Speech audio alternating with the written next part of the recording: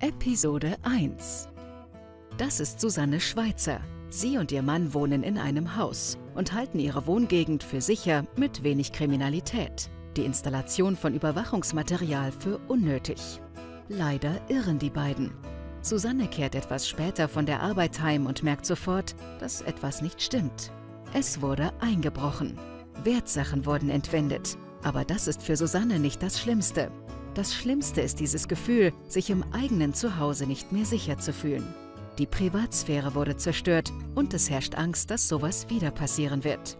Sie weiß nicht, wie sie jetzt noch ruhig schlafen oder sorglos das Haus verlassen soll. Wie konnte sie nur so naiv und gutgläubig sein, dass nichts passieren wird?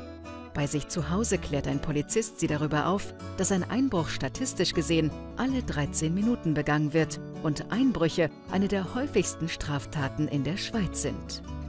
Welche Maßnahmen Sie gegen Einbrüche ergreifen können, sehen Sie im nächsten Video oder unter www.securitas-direkt.ch.